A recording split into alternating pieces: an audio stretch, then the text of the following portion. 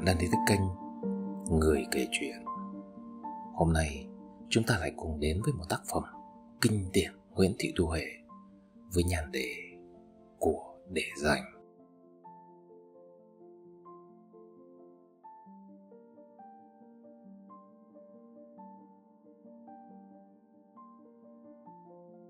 Ngôi nhà của bà Vi nằm ở một đường phố buôn bán sầm uất. Hàng ngày chỉ cần ngồi một chỗ là có thể mua đủ thứ từ đồng quả tấm bánh đến các ăn ngon, ăn sang. Khu phố này dường như không bao giờ ngừng hoạt động, kể cả nửa đêm.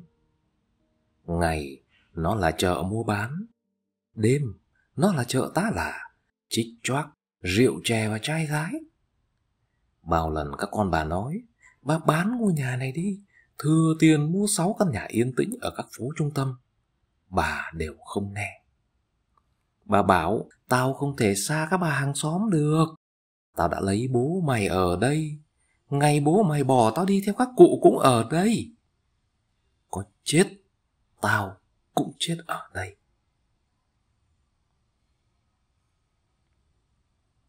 Bà Vi có ba con, hai trai, một gái, đều học hành đến nơi đến chốn, sáng sủa xinh đẹp cả. Thằng cả làm giám đốc một công ty may, thằng hai làm kế toán trong một nhà máy, còn cô út là diễn viên của một đoàn kịch. Hàng tháng, con cà của bà đưa bà 500 ngàn tiền ăn, thêm 300 ngàn tiền gạo và 200 tiền điện. Con thứ góp 500 vì chịu ăn bữa tối. Còn cô út cười xòa. Giàu con út, khó con út, các anh ấy kiếm tiền dễ, chứ con mua danh ba vạn, bán danh ba hào, tiền lương không đủ hai bộ váy. Hàng ngày, bà Vi làm lụng từ 5 giờ sáng đến 10 giờ đêm. Anh cả thỉnh thoảng tấm tắc. Một mẹ già bằng ba mẫu ruộng. Anh hai quen với những con tính, chữ số, vốn song phẳng, hụt tuẹt. Gớm, ở thành phố, biết ruộng, vườn, mồm ngang mũi dọc thế nào. Cứ nói thẳng ra, một mẹ già bằng ba con ở cho xong. Cô út lườm. Anh lại đi ví mẹ với đứa ở. Bà Vi chỉ cười. Chả phải là hiền. Đấy là do nước mắt chảy xuôi thôi. Ở phố, bà nổi tiếng ghê gớm, chùa ngoà. Đứa nào vô phúc cân thiếu của bà nửa lạng gạo cho một yến gạo là bà chửi cho như búa bồ vào đầu, cấm có vác mặt đến phố lần thứ hai. Mua rau chỉ một mớ, nhưng bà sẵn sàng mới cả thúng của người ta lên. Vì từ xưa đến giờ, bà đâu có chịu kém ai. Ngày hai bữa cơm, một thúng quần áo, lau một lượt nhà và hãm mấy ấm trà xanh. Cộng với ít hoa quả trong tủ lạnh. Đấy là thực đơn của bà. Bà Vi bị ngã. Tin ấy lan truyền khắp phố, hầu hết dân phố suýt xoa, nhưng không rõ do mừng hay thương. Bà đi ra đầu phố, đã biết điều nép vào một bên, mà hai thằng oắt con cứ rồ xe trong hẻm ra, tông thẳng vào người. Bà ngã quật xuống, rồi không biết gì nữa. Tỉnh dậy, bà thấy như ở một cõi xa xôi nào đó trở về. Mê mê, tình tình. Đến hôm sau bà mới nhớ ra tại sao mình lại nằm y ra thế này. Bác sĩ bảo bà bị dạn xương trậu, tụ máu một bên đầu, có khả năng bị chảy máu trong. Anh con cà đưa ra đề nghị. Ăn cơm bụi, vừa tiện, vừa rẻ mà vẫn đủ chất. Anh con thứ, cơm bụi muôn năm. Cổ út thì phụng phịu. em chịu thôi. Ai lại diễn viên như em, lên sân khấu, toàn vai vương phi, công chúa, rồi trợ lý giám đốc. Bây giờ lê la đầu đường xó chợ để ăn vài nghìn cơm đầu ghế. Anh cả quắc mắt. Có là rời thì cũng phải tọng cái gì vào mồm mới sống được. Công chúa hoàng tử ấn sân khấu thì ra cái gì? Giám đốc thật như tao còn ăn cơm bụi nữa là cái thứ sắm vai trợ lý của mày. Thôi, coi vấn đề ăn là xong. Cả ba đều quên mất một điều. Khi họ xông ra chén cơm bụi, thì bà Vi ăn gì? Vì nằm liệt. Lúc đấy, nằm nghe các con bàn bạc sôi nổi như trong một cuộc hội thảo nâng cao chất lượng, một đề tài cấp bộ. Bà lén thở dài. Bản nhau ăn riêng có nghĩa là kinh phí lâu nay họ đóng góp cho bà giảm sẽ đến mức tối thiểu. Lại thở dài. Chờ quý những đồng lương hưu còm cõi, bà đã nỡ coi thường bấy nay. Còn út bảo, mẹ này, con lau nhà có một ngày mà gân tay nổi lên nhằng nhịt. Cái tay là quan trọng lắm, mình nên đi dép vào nhà cho tiện. Bà Vi gật, bà có thể làm gì với đôi chân không đỡ nổi thân mình. Hàng ngày, nó mua cho bà hai quả trứng vịt lộn và một bát cháo sườn trẻ con, chưa có răng. Nó bảo, về chất, hai quả trứng một ngày là đủ tiêu chuẩn. Về bột, cháo sườn về dễ nuốt, lại dễ tiêu. Cả ngày, mẹ chỉ cần ăn lăng nhăng thôi. Già rồi, ăn nhiều chất bột phì người, không tốt đâu. Ba lại gật. Nhưng rồi cô con út không vui vẻ được sau ngày đầu tiên phải đổ bô cho bà 8 lần. Thật là khủng khiếp, vì từ bé đến giờ nó chưa phải nhặt đến một mớ rau muống. Ờ. Ngày thứ hai, sáng ra, cô bảo anh cả. Anh bảo chị Liễu, bảo chị đến thăm mẹ đi. Thế mới chứng tỏ dâu tử tế, chứ cứ rước đèn cù với nhau ngoài đường, ai chả rước được. Anh cả văn mắt, đến bố đẻ nó, nó còn chưa hầu ngày nào nữa là bà bu mình. Nhỡ sau này tao không yêu nó, lại phải lấy, vì nó đã đổ bô cho mẹ mình nhỉ? Đến ngày thứ ba, thì cô út không thể chịu nổi nữa. Không còn rào đầu đón đuôi, không còn kính mẹ trọng anh. Cô yêu cầu họp gia đình, cắt tua nhau trông mẹ. Cô là con gái, ưu tiên ba ngày, còn bốn ngày kia chia đôi cho hai anh. Tất cả nhìn nhau và cảm giác họ như mới bắt đầu cuộc sống. Bà Vi nằm bất động sáu ngày. Không được tắm, không được rửa mặt mũi như trước, Tóc bà bết lại vì mồ hôi và quần áo, dù ngày nào cũng thay, nhưng luôn luôn phảng phất mùi gì khó tả lắm. Bà Mộc sang chơi trách. Tại bà, bà chiều chúng nó quá, bà hầu chúng nó tận răng, giờ chúng nó phải chẳng đứa nào chịu đâu. Mà có muốn cũng chẳng biết cách mà làm, bà có dạy chúng nó đâu. Bà Vi sụt rồi. Làm mẹ mà bà Chúng nó có đến bốn năm mươi tuổi. Đối với tôi, vẫn chỉ lên mười. Hai bà đang rủ gì, dù gì, thì anh cả phanh xe đánh kịp. Và đằng sau, một bà già từng sáu mươi bảy mươi tuổi, ngồi ngất ngường, thò chân trống xuống theo. Anh cả cười từ ngoài đường. Chào bác Mộc, chào mẹ. Con đã tìm được một giải pháp hữu hiệu tuyệt vời rồi. Đây là người giúp việc của mẹ. Mẹ cần gì? Đã có bà. Anh cá quay lại. Bà tên là gì? Bà già nhìn mọi người, cười vu vơ ra chiều nịnh bợ. Rõ ràng là mừng rỡ. Anh cả nói to hơn. Bà tên là gì? Bà già nghiêng nghiêng đầu, vẫn cười, rồi gật đầu tỏ ý hiểu biết và đi về phía bếp. Anh cả chạy theo kéo bà già lại, hét vào tay. Bà tên là gì? Bà già giật mình đánh đùng, vì mang nhĩ đã được thông. Móm mém. Tên là gì á? Tên tôi là Đất. Bà Mộc im lặng, nhìn bà Đất. Bà Vi định nhòm dậy vài lần, nhưng đau quá, lại ngã vật xuống.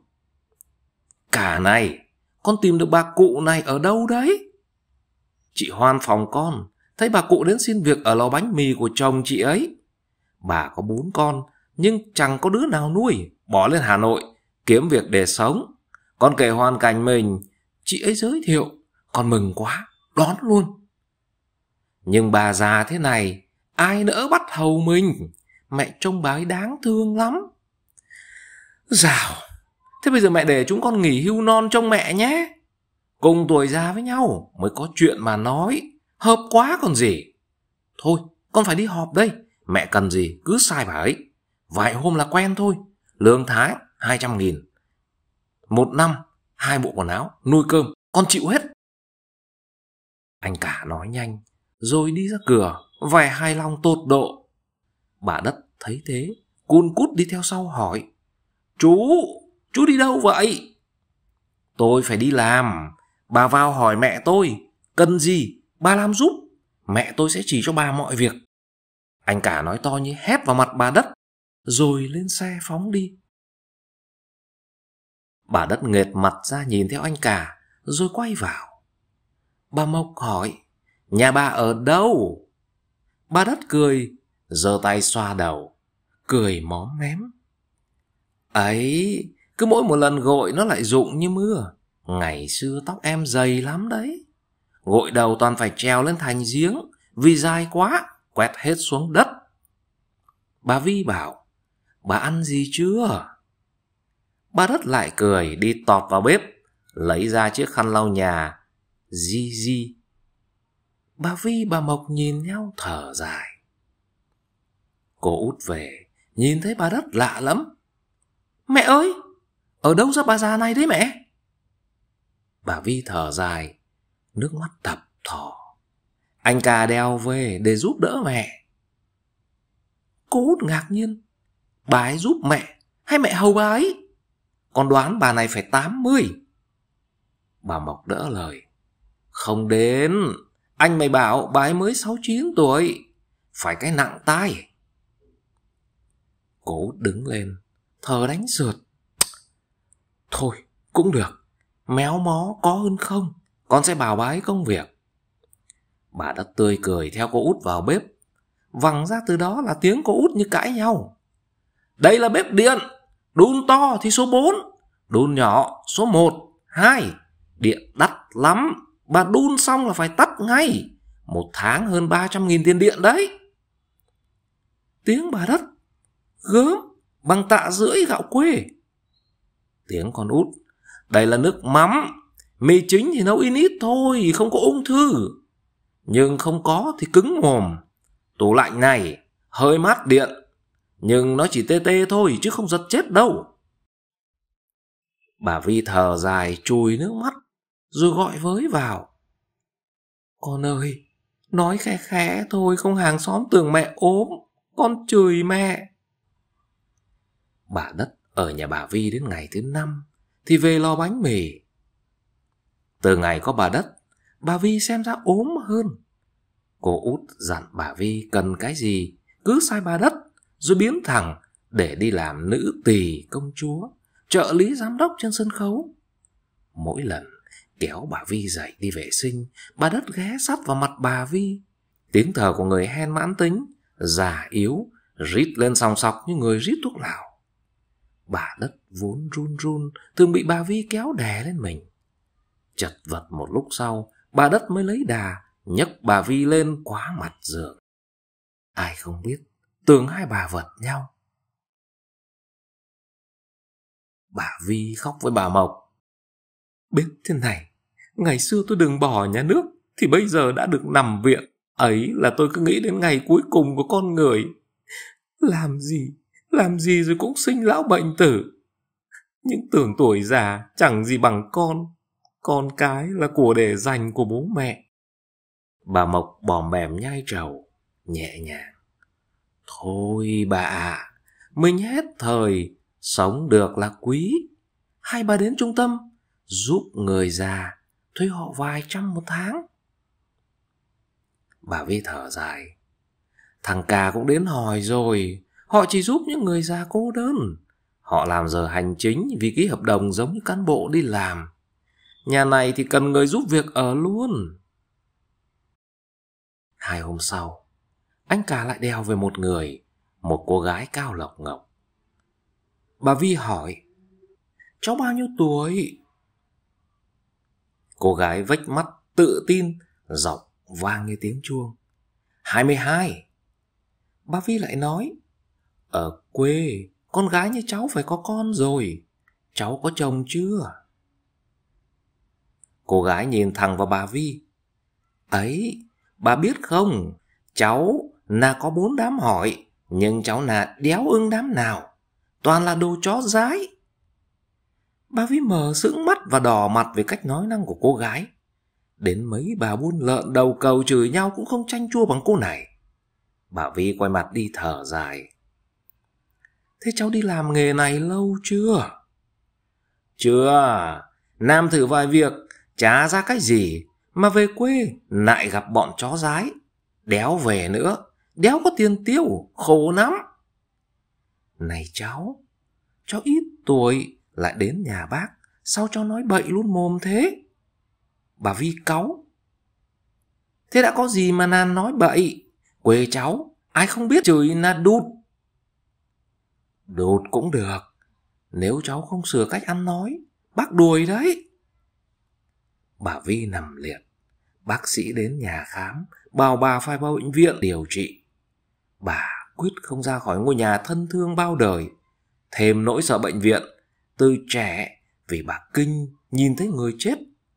Bà nghĩ đến thân phận mình, người ta chỉ sợ mọi điều khi còn sống.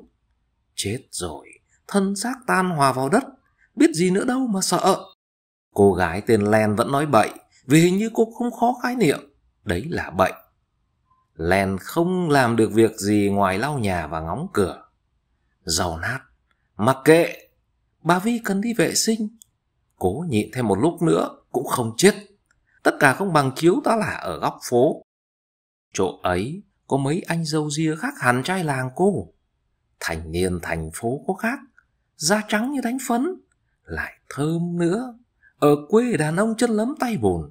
Cấm có thấy ai trắng. Len bình phẩm. Bà Vi nằm mãi, người ba chỗ mềm, chỗ cứng và bốc lên mùi nặng nề. Bác sĩ đến khám bảo, con người ta giống như cái chai nước, ngã một cái như cầm chai nước sóc mạnh. Đầu đuôi lộn tùng phèo, bà phải nằm yên cho nó trở lại như cũ.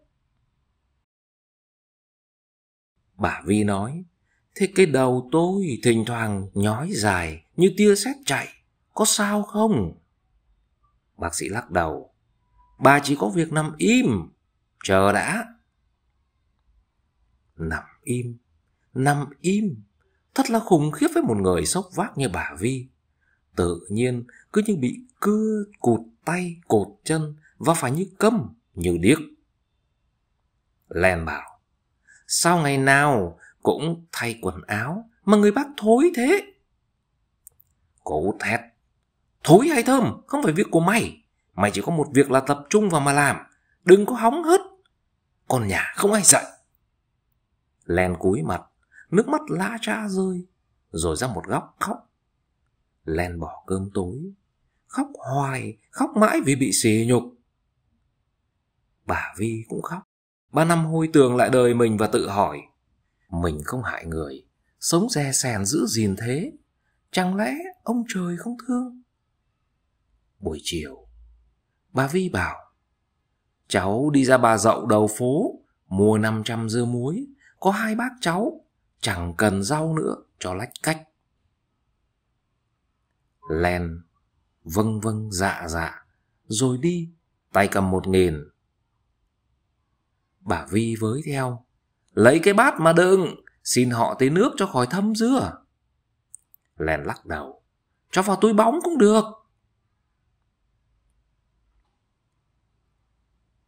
Từ nhà bà Vi ra hàng dưa muối, cả đi cả về mất 10 phút nếu đi chậm, còn đi nhanh chỉ mất 5 phút. Vậy mà hai tiếng sau, Len vẫn mất tâm. Người bà Vi hết sốt, lại rét. Bà sợ, bà hãi hùng tưởng tượng ra đủ mọi chuyện không may xảy ra cho Len.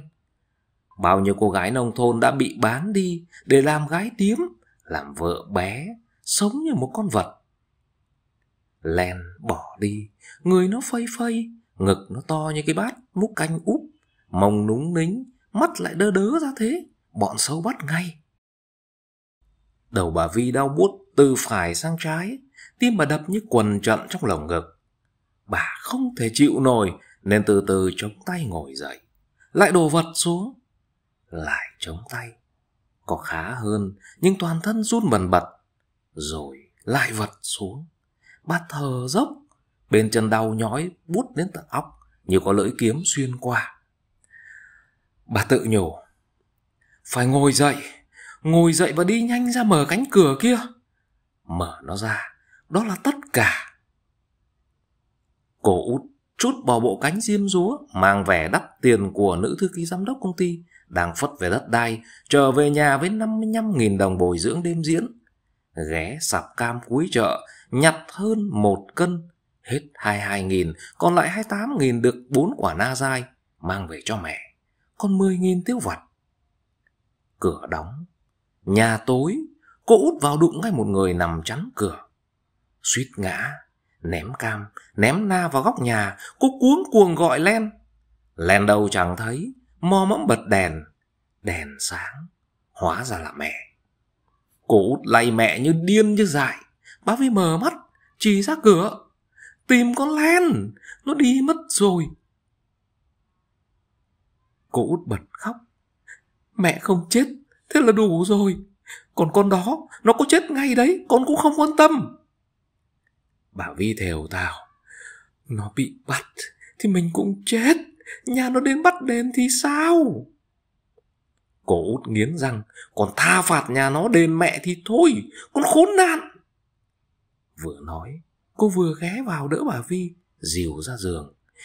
Mà mẹ đi lại sao được cơ chứ? May mà ngã nhẹ, chứ nặng thì phí đời. Ai lại chết với cái giống đó? Bà Vi nói nhỏ. Mẹ đi được ba bước rồi. Kể ra có cái nạn thì không ngã. Cô út cáu kỉnh. Các bác hàng xóm đi đâu hết? Hai anh cũng chẳng về. Người ta có việc người ta. Mình có là mẹ họ đâu mà bắt họ hầu à con. Vài ngày căng thẳng trôi qua. Cô út về Sơn Tây với anh bạn diễn cùng đoàn từ sáng đến tối. Về nhà đem một con bé đen nhèm, khô như coi cùi cháy. Bà Vi đoán nó lên tám là cùng. Anh cả cười. Cháu ở nhóm bột hay cháo? Anh hai nhìn một hồi, thở dài. Hết bà già, đến trẻ con, giặt những thành phần gây nhiễu. Cổ út cáu, tu nước ở ngực. Trẻ con thế đấy, nhưng nó không biết lòi ra. Nó cũng không theo dai, bỏ nhà trốn đi, rồi lại cuỗng của em cái túi phấn son. Trẻ con, thế mà nuôi hai em, một đàn lợn, lại mấy con gà. Mẹ nó què chân, việc to việc nhỏ, nó làm hết đấy. Bà Vi quay mặt vào tường, gạt nước mắt. Con bé tên Hồng, sau một hồi ngơ ngác bối rối, liền ý thức được công việc của mình qua sự giáo dục trì bảo một ngày của cô út, chạy xông đến bên bà Vi, cầm cái bô dơ lên. Để cháu si bà đái nhé. Cô út lườm, không được nói là si, bà đáng tuổi bà nội cháu, chứ có phải em cháu đâu. Bà Vi cười như mếu, lấy tay xua xua. Con bé ngần ra, rồi cất cái bô vào gầm giường làm bẩm. Cháu vẫn si em cháu mà. Nó vùng đứng lên, vơ rẻ lau nhà, cho vào cái chậu giặt ồm ồm. Cô út đắc thắng, nhìn hai anh đầy mãn nguyện, con bé làm quần quật mê mải. Thỉnh thoảng ra ngồi một góc, bóp bóp hai đầu gối nhọn hoắt. Bà Vi hỏi, cháu lên lớp mấy rồi? Nó cười, cháu 13, cháu học đến lớp 4 cơ đấy, đọc được cả báo, bao giờ hết việc, cháu đọc báo cho bà nghe. Bà Vi cười, cháu cứ làm từ từ, đi lại chậm chạp, không có ngã thì khổ. Nó cười, việc nhà bà bé tí, phải cái tội cứ đi quanh quần mỏi chân, từ sáng đến tối, dễ đến 10 cây số. Hồng ở nhà được 10 ngày, xem ra ưng ý cả nhà. Nó chăm chỉ, nhanh nhẹn và ngoan ngoãn. Tiền công cộng tiền ăn sáng 100 nghìn, nó gửi bà Vi cầm hộ. Sáng ra, lúc thì có cơm nguội thừa, lúc bắt cháo bà Vi đắng miệng không nuốt. Hồng ăn ngon lành. Nó bảo quê nó, nhà nào cán bộ to mới ăn bánh mì sáng, những 500 đồng bữa sáng, bằng tiền rau cả nhà khác. Ở quê, chẳng bao giờ biết mặt đồng tiền to. Bà Vi hỏi, cháu đi thế này, có nhớ mẹ không? Chả bao giờ bà thấy cháu nhắc mẹ. Nó hồn nhiên, không, bà. Bà Vi cau mật. Con không nhớ mẹ, thì là con hư rồi. Nó cười. Để tối cháu nói bà nghe. Con Hồng ngày dìu bà đi quanh nhà. Da bà Vi hồng dần lên. Bà đã bắt đầu cười nói. Cơm canh nó nấu, con thức ăn cô út làm từ sáng. Ăn cả ngày. Cuộc sống ra chiều ồn thỏa. Có điều, Hồng quá ý thức phận của mình nên nó làm như cái máy, không ngồi nghỉ, không lơ là và thính tai cực độ. Chỉ cần bà Vi chờ mình là nó bật dậy, tay với cái bô. Không cần bô thì xông vào đỡ bà dậy. Bà Vi bảo, cháu cứ bình tĩnh, không có đau thần kinh đấy. Nó nhoèn cười như người bắt lỗi bị bắt quả tang. Bà Vi thấy nó trắng và có da thịt hơn cũng tạm yên lòng. Buổi tối, nó thì thầm. Tối nay cháu cho bà gặp mẹ cháu nhé. Bà Vi ngơ ngác. Mẹ cháu ở mãi Sơn Tây, sao về đây mà bà gặp? Nó hồi hộp. Bà cứ đợi đấy, bà sẽ gặp. Buổi chiều, nó hát ừ, ừ một bài nhạc vàng mà ngày ngày ở hàng karaoke đằng trước, vọng sang. Anh chết trong mắt em lần cuối, một lần cuối cùng, một lần cuối cùng. Bà Vi hồi hộp, chờ đợi và cảm thấy có tình cảm với con bé. Nó vừa trẻ con, vừa già dặn. Tội nghiệp, tuổi ấy là tuổi chơi, tuổi học và chưa cần phải suy nghĩ gì. Rồi bà tự an ủi, nó va chạm với cuộc sống sớm, sau sẽ nên người. Cả nhà ăn bữa cơm xong từ lâu rồi đi ngủ. Hồng vẫn đầy vẻ bí mật, thỉnh thoảng lại nháy mắt với bà Vi. Nó thì thầm. Bà chịu khó, chờ các chú ấy ngủ hẳn, mẹ cháu đến ngay. Bà Vi lòng xốn sang, khó hiểu, nhưng vẫn im lặng nghe lời con bé. Rồi cả nhà chìm trong giấc ngủ. Đêm yên ắng và trong suốt. Bà Vi mệt quá, thiếp đi một lúc thì Hồng đến bên thì thào. Bà ơi, bà, mẹ cháu sắp đến rồi. Bà Vi giật mình, tỉnh dậy ú ớ. Mẹ nào? Đâu? Bảo mẹ cháu vào nhà đi. Nó bí hiểm. Mẹ cháu ở trong nhà này rồi. Đêm nào mẹ cháu trả lên đây ngủ cùng cháu. Bà nhìn cái kia. Bà Vi tình ngủ hẳn, nghiêng người, nhìn theo tay nó chỉ. Mẹ cháu cái kia. Góc nhà là ngọn đèn ngủ màu vàng nhạt hắt ánh sáng nhẹ nhàng lên bức tường trên đầu bà Vi. Bà ngơ ngác nhìn theo tay con bé. Hiện lên bức tường trắng đó, hình một người co hai tay chống đất. Cái bóng đó di chuyển bằng cách chống hai bàn tay để thay hai bàn chân. Rõ ràng là một người cụt chân. Tiếng Hồng. Hôm nay mẹ có ra sân không? Tiếng mẹ Hồng ồm ồm. Mẹ có ra sân. Lúc chiều để xem đàn gà nó về chưa? Thiếu mất con cụt đuôi. Tiếng Hồng. Rồi nó có về không ạ? Tiếng vọng. Cứ đánh nhau nên càng trụi. Đã trụi mà không chữa. Thế tình hình con thế nào? Tiếng Hồng. Con vẫn khỏe. Con biết nấu cà bung rồi. Bà Vi dạy con. Gớm, ở đây ăn uống phức tạp lắm. Cho đủ các thứ mà vẫn chưa xong. Con ăn thấy béo béo lạ Tiếng vọng và hình người di chuyển. Con chịu khó riêng làm, ăn uống đầy đủ để khỏi ốm. Thế là mẹ mừng. Tiếng hồng. Ở trên này có nhiều thứ con dám chắc là chưa bao giờ mẹ được biết đâu. Bánh gato kem này, kem gói này, cà phê tan nữa. Bao giờ về con sẽ mua cho mẹ ăn. Ngon lắm. Tiếng vọng. Thôi, con phải để dành tiền mua thêm con lợn nái với lợp cái mái nhà sắp mùa mưa rồi. Tiếng Hồng. Vâng, thế thì con chỉ mua kem thôi. Tiếng Vọng. Ừ, kem thì cũng ngon đấy, mua một cái cũng được. Tiếng Hồng. Thế mẹ cho con gặp con mít đi. Trên bức tường hiện ra đầu một con chó, mồm há ngậm và hai tay rung rung, thỉnh thoảng gật gật tiếng Hồng. Em có nhớ chị không? Chị thương em lắm. Nhiều khi đổ cơm thừa, xương gà, xương vịt, chị nghĩ thương em. Chị chỉ ước có em ở đây, ăn cho khỏi gầy. Rồi lại hình ảnh bà mẹ què chân, chống tay đi đi, lại lại, gật gật. Nước mắt bà Vi tràn trề trên mặt, khẽ kêu lên. Thôi, Hồng ơi, bà hiểu rồi. Thoát cái, người đàn bà biến mất. Bà Vi quay ra, cô bé ngồi rũ xuống. Cháu vẫn gặp mẹ thế này, phải không? Bà Vi sụt sịt.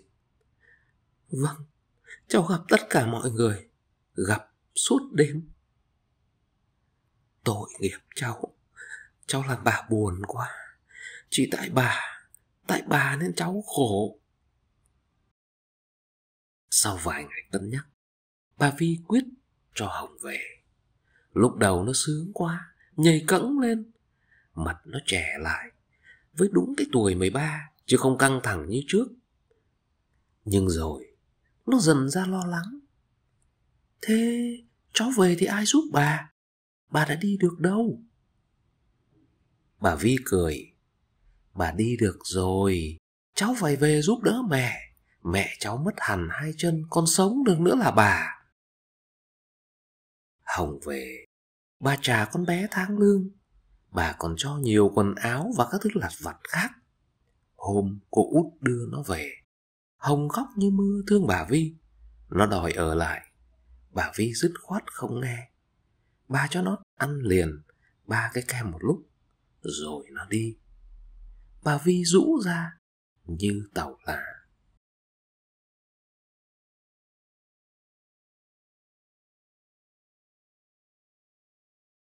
Ba tháng sau, một hôm, đêm cô út trở về sau đêm lá hoa hậu ngành trồng sắn trong một tiểu phẩm hài phục vụ một đám nhậu, được trả thù lao 150.000 đồng. Cô xốn sang trước một đêm diễn hoàn hảo cả về vật chất lẫn tinh thần. Mở cửa, cô út vào nhà, chưa kịp khoe chiến công với mẹ, thì cô đá phải bà Vi nằm sóng xoài. Cô bật điện. Bà Vi đã chết. Ông bác sĩ bảo, tôi đã nói rồi, con người ta giống như cái chai nước suối kia. Khi bị ngã, giống như cầm chai sóc lên. Muốn yên phải để cho ổn định lại. Trẻ tuổi hồi lại nhanh. Người già lâu lắm. Mẹ cô già lại ngã mạnh. Mọi thứ chưa đâu vào đâu đã tự đi. Sức khỏe bệnh tật không đốt cháy giai đoạn được. Đã thế lại còn tham việc. Cô khóc. Thì mẹ cháu đã mang cái nạng sắt chắc thế rồi. Ai ngờ. Ông bác sĩ lắc đầu nạng sắt đâu có đỡ được mãi. Mẹ cháu chỉ có thể dựa vào các cháu thôi. Các cháu không cho dựa, thì mới ra nông nỗi này. Bà vi chết. Nhà cửa sau phen xáo trộn lại đi vào nền nếp. Cuộc sống an nhàn hơn, nhưng anh cả anh hai xem ra lầm lì khó tính. Còn cô út ít đi đêm, mơ thường quanh quẩn ở nhà. Cô lại làm những công việc của bà Vi ngày xưa nhưng không mỹ mãn bằng. Hết việc, cô lại bật tivi xem. Chương trình ca nhạc có một bài về người mẹ. Cô út nhớ nhất câu Mẹ già như chuối chín cây Gió lây mẹ dùng Con thành hồ côi